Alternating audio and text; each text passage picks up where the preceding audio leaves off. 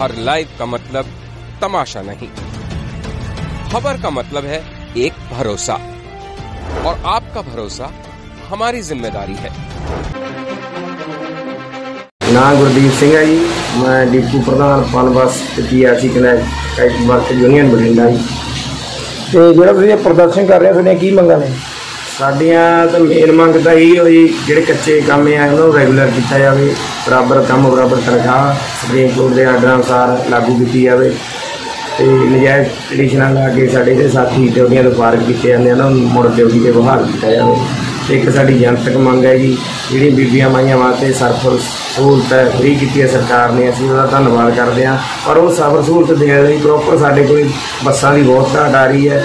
ਉਹਦੇ ਵਿੱਚ ਸਵਾਰੀਆਂ ਨੂੰ ਬਹੁਤ ਪਰੇਸ਼ਾਨੀ ਹੋ ਰਹੀ ਹੈ ਤੇ ਸਾਡੇ ਜਿਹੜਾ ਸਟਾਫ ਆ ਉਹਨਾਂ ਨੂੰ ਬਹੁਤ ਦਿੱਕਤ ਹੋ ਰਹੀ ਹੈ। ਸਾਨੂੰ ਸਰਕਾਰ ਨੂੰ ਬੇਨਤੀ ਕਰਦੇ ਹਾਂ ਵੀ ਘੱਟ ਤੋਂ ਘੱਟ ਪਾਉਣ ਵਾਸਤੇ ਪੀਆਰਡੀ 10000 ਬੱਸ ਦਿੱਤੀ ਜਾਵੇ ਤਾਂ ਜੋ ਅਸੀਂ ਬਹੁਤ ਆਪਣੇ ਸੁਚੱਜੇ ਢੰਗ ਨਾਲ ਸਫਰ ਸਹੂਲਤ ਪਬਲਿਕ ਨੂੰ ਦੇ ਸਕੀਏ। ਜਿਹੜਾ ਪ੍ਰਦਰਸ਼ਨ ਹੈ ਤੁਹਾਡਾ ਜੀ ਕਿੰਨੇ ਟਾਈਮ ਦਾ ਤੇ ਕਿੱਥੇ ਕਿੱਥੇ ਹੋ ਰਿਹਾ ਹੈ? ਇਹ ਹਾਲ ਪੰਜਾਬ 'ਚ ਹੋ ਰਿਹਾ ਜੀ ਚਾਰ ਚਾਰ ਘੰਟੇ ਅਸੀਂ ਮੇਨ ਬੱਸ ਸਟੈਂਡ ਜਿਹੜੇ ਸ਼ਹਿਰਾਂ ਦੇ ਬੰਦ ਰੱਖਾਂਗੇ ਤੇ ਤਿੰਨ ਤੇ 4 ਅਗਸਤ ਦਾ ਜੀ ਅਗਰ ਫਿਰ ਵੀ ਸਰਕਾਰ ਸਾਡੇ ਹੱਲ ਨਹੀਂ ਕਰਦੀ, ਸਾਡੇ ਕੱਚੇ ਕਰਮਚਾਰੀਆਂ ਦਾ ਰੈਗੂਲਰ ਨਹੀਂ ਕਰਦੀ ਤੇ ਆਪਣੀ ਜਿਹੜੀ ਪਾਲਿਸੀ ਬਣਾਈ ਹੈ, ਇਹ ਹੁਣ 10 ਸਾਲਾਂ ਵਾਲੀ ਇਹਨੂੰ ਰੱਦ ਨਹੀਂ ਕਰਦੀ ਤੇ ਇਹ ਸਾਡੀ ਫਿਰ ਇੱਕ ਹੜਤਾਲ ਹੋਣ ਜਾ ਰਹੀ ਹੈ ਜੀ 9 10 ਤੇ 11 ਦੀ। ਅਗਰ ਫਿਰ ਵੀ ਸਰਕਾਰ ਦੇ ਕੋਈ ਨਾ ਪ੍ਰੋਪਰ ਹੱਲ ਕੱਢਿਆ, ਤਾਂ ਜਿਹੜੀ ਹੜਤਾਲ ਹੈ ਇਹ ਲੰਮੇ ਸਮੇਂ ਲਈ ਕੀਤੀ ਜਾਊਗੀ, ਅਣਮਿੱਥੇ ਸਮੇਂ ਦੀ ਹੜਤਾਲ ਵੀ ਹੋ ਸਕਦੀ ਹੈ। ਜਿਹੜਾ ਤੁਹਾਡੇ ਬੱਸਾਂ ਬੰਦ ਕਰ ਬੰਦ ਕਰਨ ਦੇ ਨਾਲ ਸਵਾਰੀਆਂ ਪ੍ਰਭਾਵਿਤ ਹੋ ਰਹੀਆਂ ਨੇ, ਇਹਦਾ ਜ਼ਿੰਮੇਵਾਰ ਕੌਣ ਹੈ?